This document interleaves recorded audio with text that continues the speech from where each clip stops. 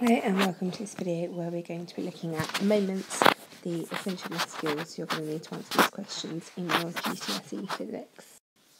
So these are a set of rules that I've come up with to help you answer questions. Um, I do have another video where I go over these in great detail so I won't be doing that for you here. Just I'm gonna, this is how I'm going to be answering the questions. Um, whenever I give my students questions to answer, I always make them four mark questions. The first mark comes from writing down the formula, the second mark comes from plugging in the units, the third mark comes from the maths, um, and the fourth mark comes from the units. This is the equation we're going to be looking at in this video. Uh, moment equals force times distance. Moment is measured in newton meters, force is measured in newtons, and distance is measured in meters. So this is the first equation that we have, uh, first question that we have. So following the rules, I have my physics pen. I'm going to circle all of the numbers in the equation, work out what these numbers are. So this is newtons, so this one here must be force. This is meters, so this is distance. Um, now we know what equation we're using for this video, so we don't have to look at our formula sheet.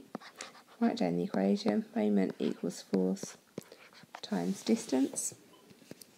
Plug in the numbers. So that is 64 newtons times 0.8 metres. And if we pop that into our calculators, we come up with an answer of 51.2 newton metres.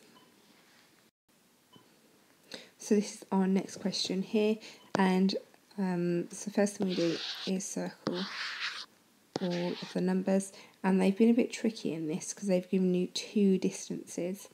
The distance that we need to look at is this one here, because it is the perpendicular distance to the pivot, not that one there, which is the length of the lever. So first thing we do is write down our equation, moment equals force times distance. Our force is 300 newtons. Our distance is 0.8 meters. So we do 300 times 0.8 and we come up with an answer of 240 newton meters. So use maths to show which spanner will produce the biggest spin the three forces applied. So here we have moment equals force times distance. I know it seems repetitive writing the equation down over and over again, but this is really good practice to get into for your exam. The examiners do like to see this. So our force is 3 times 0.5 metres.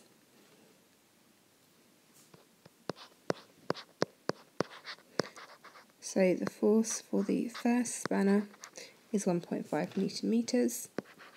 Moment equals force times distance, 3 times 0.9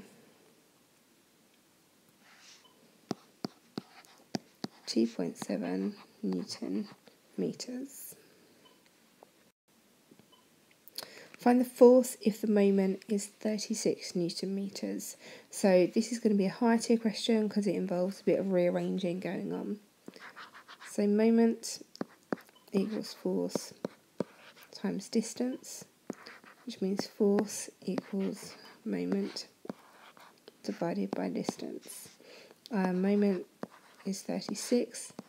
Our distance, nah, I've been a bit sneaky here and not even I noticed it. So this says 60 centimetres. We need to convert this into metres. To convert centimetres into metres, we divide it by 100, so that equals 0.6 meters. So, um, going back to our equation, we have 36 uh, newton meters divided by 0.6 meters equals force of 60 newtons. Again, we have lots of um, numbers on here. The examiners aren't doing it deliberately to confuse you. they're doing it to see whether you know your physics well enough. So moment equals force times distance. Force is 7.2 um, newtons. The correct distance to use is this one here because it's a perpendicular distance from the pivot.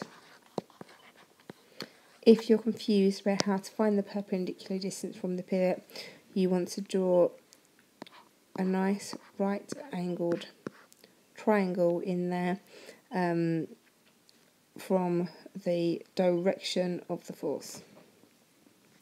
So 7, 7.2 times 0.95 equals 6.84 newton meters. And again, this is going to be a high tier question because we need to do a bit of rearranging.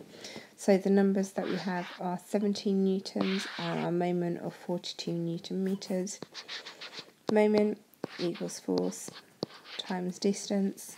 So distance equals moment divided by force. Our moment is 42.